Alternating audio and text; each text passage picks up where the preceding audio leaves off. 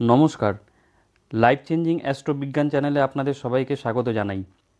দু হাজার তেইশ সালে রাহু চারটি রাশির উপর অশুভ প্রভাব ফেলতে চলেছে। আগামী দশ মাস খুব কঠিন সময়।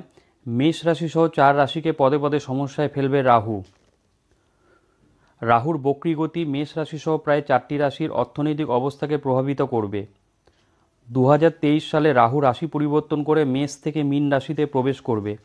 সেই কারণেই দু হাজার তেইশ সালের জানুয়ারি থেকে অক্টোবর পর্যন্ত চারটি রাশিকে রাহুর অশুভ ফলাফলের সম্মুখীন হতে হবে। রাহু এবং কেতু উভয়কেই অশুভ গ্রহ হিসেবে বিবেচনা করা হয়।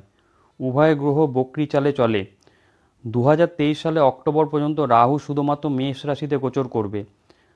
দু হাজার বাইশ সালের বারোই এপ্রিল রাহু বিষ রাশি ছেড়ে মেষ রাশিতে প্রবেশ করে।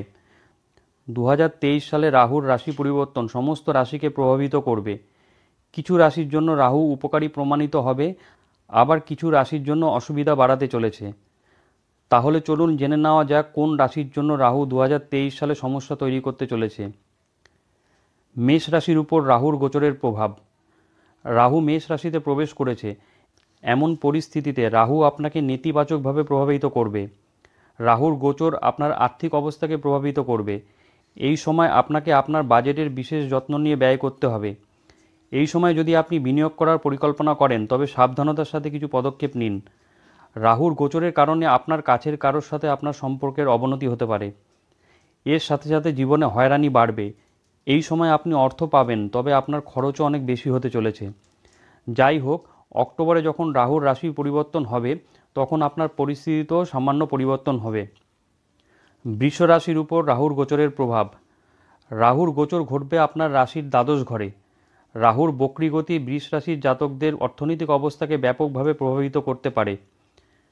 এই সময় আপনার অযথা খরচ বেশি হবে।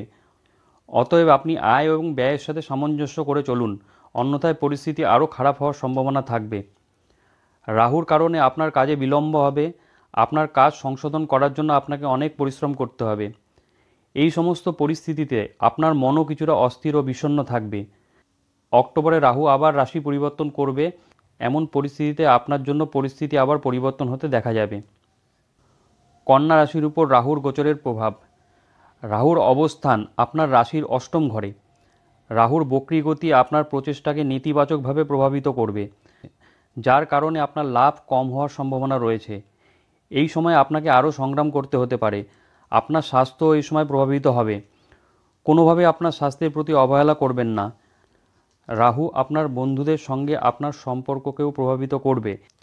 এই সময় আপনার বন্ধুদের সাথে আপনার তর্ক হতে পারে, পাশাপাশি তাদের আপনার বিরোধিতা করতে দেখা যেতে পারে।